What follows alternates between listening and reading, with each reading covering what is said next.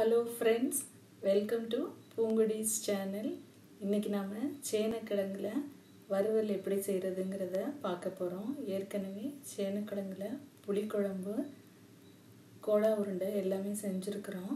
இன்றைக்கி வறுவல் செய்யலாம். இதுக்கு நான் கால் கிலோ சேனக்கிழங்க நல்லா அந்த மண்ணெல்லாம் கட் பண்ணிவிட்டு அழகாக ஸ்கொயர் பீசஸாக கட் பண்ணி வச்சுருக்கேன். இதை போல் சின்ன சின்ன ஸ்கொயர் பீசஸ் கட் பண்ணி தண்ணியில் போட்டு வச்சுட்டு நம்ம ஃப்ரை பண்ண ஆரம்பிக்கலாம்.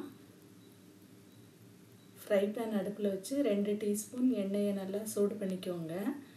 அதோட கால் டீஸ்பூன் அளவுக்கு கடுகு கால் டீஸ்பூன் உளுந்தம்பருப்பு கால் டீஸ்பூன் சோம்பு கால் டீஸ்பூன் சீரகம். இது எல்லாத்தையும் போட்டு பொரிய விடுங்க. பொரிஞ்சதும் கொஞ்சம் கருவேப்பிலை அடுத்ததாக நம்ம கட் பண்ணி வச்சுருக்கிற சேனைக்கிழங்கை போட்டு நல்லா ஃப்ரை பண்ணணும். இது வந்து ஒரு பதினஞ்சு நிமிஷம் நாம் லோ இல்லைன்னா மீடியம் ஃப்ளேமில் வச்சு ஃப்ரை பண்ணணும். மூடி வச்சு ஃப்ரை பண்ணுங்கள் தொடர்ந்து அப்படியே விட்டுறாதீங்க. இடையில ஒரு அஞ்சு நிமிஷத்துக்கு ஒரு தடவை திறந்து கிளறி விடணும்.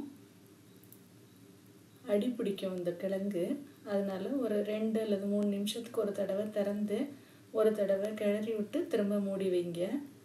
இந்த மாதிரி ஒரு பத்து நிமிஷம் வேக வச்சிங்கன்னா உங்களுக்கு கிழங்கு ஓரளவுக்கு நல்லா வெந்துடும் ஒரு த்ரீ ஃபோர்த்து வெந்துடும் வெந்ததுக்கப்புறமாக நம்ம உப்பு மஞ்சத்தூள் மிளகாய் பொடி எல்லாம் சேர்க்கலாம்.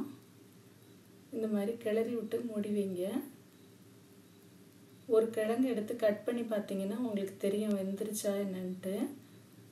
ஒரு பாதிக்கு மேலே வெந்ததுக்கு அப்புறமாக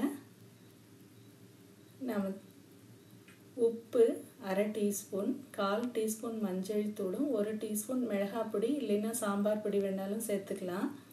இது எல்லாத்தையும் அதில் சேர்த்து திரும்ப நல்லா கிளறலாம். இன்னும் ஒரு அஞ்சு நிமிஷத்துக்கு பத்து நிமிஷம் வெந்ததுக்கு அப்புறமாக உப்பு மிளகாய் பொடி போடுங்க. அதுக்கப்புறம் ஒரு அஞ்சு நிமிஷம் லோ ஃப்ளேம்லேயே வச்சு வேக விடுங்க.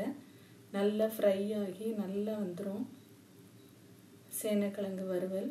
எப்பயுமே இதை வந்து கிழங்க வாங்கி ஒரு பத்து பதினஞ்சு நாள் கழித்து யூஸ் பண்ணிங்கன்னா உங்களுக்கு அரிக்காது.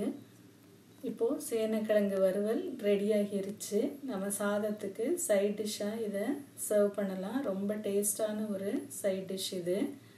இது வரைக்கும் பூங்குடிஸ் சேனலுக்கு சப்ஸ்கிரைப் பண்ணாதவங்க சப்ஸ்கிரைப் பண்ணிக்கோங்க. அப்படியே பக்கத்தில் உள்ள பெல் ஐக்கானை கிளிக் பண்ணிக்கோங்க. அப்போ தான் நான் போஸ்ட் பண்ணுற வீடியோஸோட நோட்டிஃபிகேஷன்ஸ் உங்களுக்கு உடனேக்கு உடனே வரும். தேங்க்யூ ஃபார் வாட்சிங்